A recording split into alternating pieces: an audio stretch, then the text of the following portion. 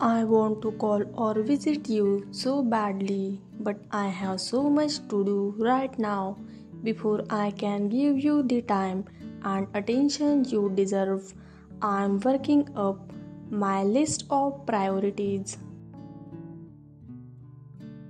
That's a promise. Please treat me like an adult and a child.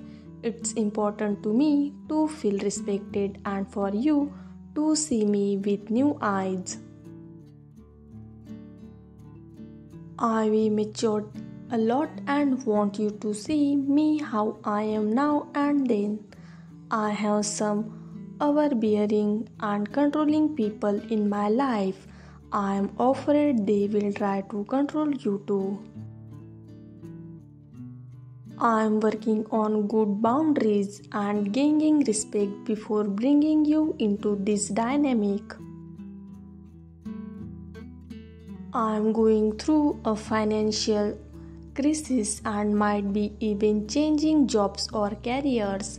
As soon as I feel stable, I will reach out and see how you are.